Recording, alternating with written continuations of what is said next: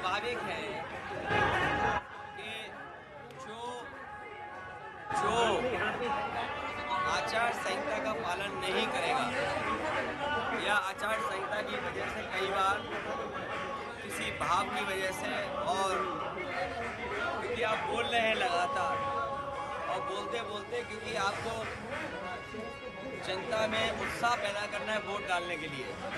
तो कई बार वो हार्ड शब्द इस्तेमाल हो जाते हैं। जो स्ट्रॉन्ग वर्ड्स हैं, जिनका भाव वो नहीं है, जिसकी वजह से कार्रवाई हो रही है। भाव दूसरा है कि ज़्यादा वोट डालें। अगर हम वोट ज़्यादा डालने के लिए कह रहे हैं, अगर हम वोट ज़्यादा डालने के लिए कह रहे हो, कई बार उसका भाव दूसरा होता है और भाव आचार संहिता के हिसाब से कार्रवाई करने का। तो उनका मैं समझता हूँ भाव ये नहीं रहा होगा जिसकी वजह से उनपे कार्रवाई हो रही है। भाव यही रहा होगा कि ज़्यादा से ज़्यादा वोट डाले अपना पूरा वोट डालें। को लेके बवाल मचा हुआ सीट को लेके।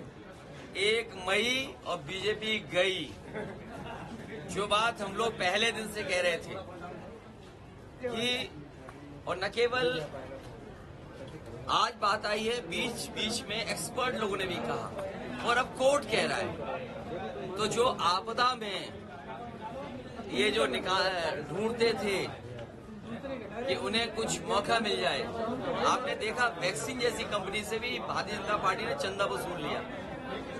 सोचो उन पे क्या गुजरती होगी जिन पे वैक्सीन लगने के बाद सर्टिफिकेट है। 80 परसेंट ऐसी आबादी है जिसको ये वैक्सीन लगी है। और सरकार ने लगवाई। तो आज जिन लोगों ने लगवाई, उन पे भी कानूनी कार्रवाई होना चाहिए, क्योंकि आम जनता की जान खतरे में डाल दी। साइंटिस्ट एक्सपर्ट ये कहते हैं कि उसकी वजह से न केवल हार्ट और कुछ बीमारियाँ भी हो सकती हैं। तो इसको कौन जवाब देगा? ये तो आचार संहिता से बड़ा उल्लंघन किया बीजेपी ने। ये तो हमारे और आपके स्वास्थ्य से खिलवाड़ कर दी। केशव प्रसाद मौर्य ने कहा है कि विपक्षी गठबंधन आईसीयू में है और इनको जनता ऑक्सीजन नहीं देगी। ए, इनकी बातें मत सुनो। इनकी बातें न सुनो। राष्ट्रपिता महात्मा गांधी कह गए हैं कि न गलत सुनो न गलत कहो। तो ये कौन से लोग हैं? किस रास्ते पे चल रहे हैं? भाई, वोट का है। आप नौकरी दे नहीं सकते। आज एक मई है। आज दुनिया में लेबर डे मनाया जा रहा है। उन्हें सोचना चाहिए कि जिन नौजवानों को उन्होंने बेरोजगार रखा है और जो लेबर ऑर्गेनाइजेशन की रिपोर्ट है, वो ये कहती है कि भारत में तिरासी परसेंट लोग बेरोजगार हैं। अगर भारत में तिरासी परसेंट बेरोजगार हैं और किसान दुखी है नौजवान के हाथ में नौकरी नहीं है पेपर लीक किया है। तो इस बार भारतीय जनता पार्टी आईसीयू में जाएगी और मई शुरू हो गई। भारतीय जनता पार्टी की विदाई होना तय है जाना तय है।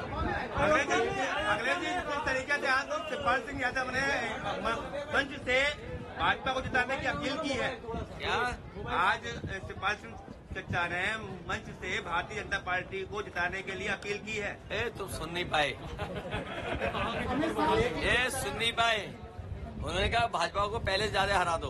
अयोध्या में अयोध्या में पीएम रैली करने जा रहे हैं वहाँ मंत्रियों की टोली उतारना पड़ रहा है। तो ये क्या नहीं न केवल न केवल मैनपुरी में टोली उतार रहे हैं बल्कि बताइए आप फरक्काबाद में तो केस कर रहे हो।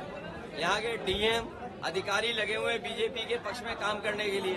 फ़ोन कर रहे हैं अपने अधिकारियों के माध्यम से। क्या वो आचार संहिता का उल्लंघन नहीं है? अगर मैनपुरी ज़िले के जिलाधिकारी और तमाम अधिकारी वो लोग हैं जिन्होंने पिछली बार वोट लूटा था। याद कीजिए मैनपुरी का चुनाव नगर पालिका का। उसमें यही जिलाधिकारी, यही अधिकारियों ने वोट लूटा था। अब चुनाव आयोग क्या सो रहा है क्या?